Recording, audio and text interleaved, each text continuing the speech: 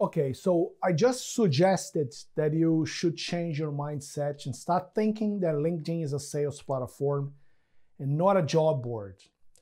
As I said, LinkedIn is a place where you're gonna do business and the product you are gonna sell is the product you, all right? And who is using LinkedIn nowadays? Who is there? What types of professionals are there? Not only looking to sell their products, but also buying products. LinkedIn is, a, is the only a uh, platform, online a website, or whatever, network, social media, whatever. It is the only place in the world where you're gonna find decision makers as decision makers. You're gonna find change makers as change makers. If you find these same people, uh, the CEO of a company out there in Facebook or Instagram, they will be in disguise. Okay, we're gonna talk about that as well. But now, start thinking that once you open your LinkedIn to do business, you are targeting people. See, in a good sense of the word, of course, but you are targeting people who can decide. And these people, most of the times they are not in the HR, they are not recruiters. See, you got to start thinking that uh, if you spend more time with decision and change makers, you're going to have things decided faster and better for you. These are the people that you should be talking uh, on LinkedIn. They should be the people that you should be targeting with content, with your material, with your problem solving skills. These are the people that you must be connecting every day using LinkedIn. A new concept nowadays that's important for us to, to understand is the concept of a change maker. Because sometimes when I say decision maker, you might think, oh, am I going to be talking directly with the CEO, the CFO, Yes, but also the, the person who is going to sit beside you there if you were there.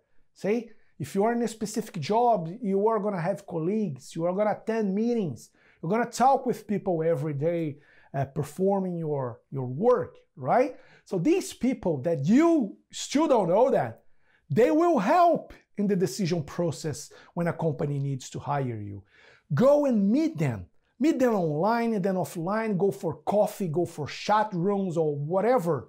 Talk with them as often as you speak with the recruiters, with the HR managers, with the CFOs, CEOs, CEO, CMOs, CEOs, CIOs, whatever, with God, whatever. See, talk with them as much because these people will influence the decision of the, the, the of the decision makers. See, they will talk about you. They will uh, will go into that, but they will like and share and uh, but well expose your content, okay, to the decision makers. But once they find, once they know you, and they know that they, their company also has a specific problem, they will do what? They will match make. They will go to their board and tell them, hey, there's a guy that I know I actually I don't know them, but I, I've been exchanging messages with this professional, and I know this guy might be suited for our problem there. See, and that he might be speaking about you to a decision maker who can actually sometimes over the phone. It happens a lot over the phone hire you, buy your product, the product you.